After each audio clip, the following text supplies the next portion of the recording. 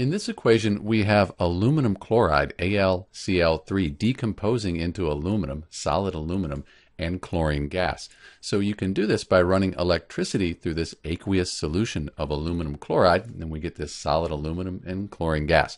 To balance the equation, let's count the atoms up. We have one aluminum and then three chlorine atoms. Product side, one aluminum and two chlorine atoms. Usually when we have an odd number like this, if we can get it to an even number, it makes the balancing a lot easier. So we could put a coefficient of 2 in front of the aluminum chloride here. And this 2, it applies to everything. So we have 1 times 2, that would give us 2 aluminums.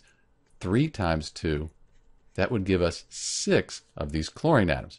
But that's okay because we can fix the chlorine. We can just put a coefficient of 3, 2 times 3. Those are balanced. That gives us 6. And aluminums by itself, we change this, it won't change anything else. We'll just put a 2 here, then the 1 times 2, that gives us 2. That's balanced. So this equation is balanced. If we wanted to report the coefficients, 2, 2, 3.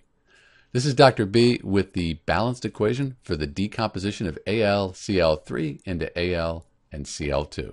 Thanks for watching.